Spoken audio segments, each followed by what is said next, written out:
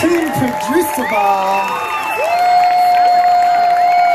Smashing it up, keeping it real. Lots of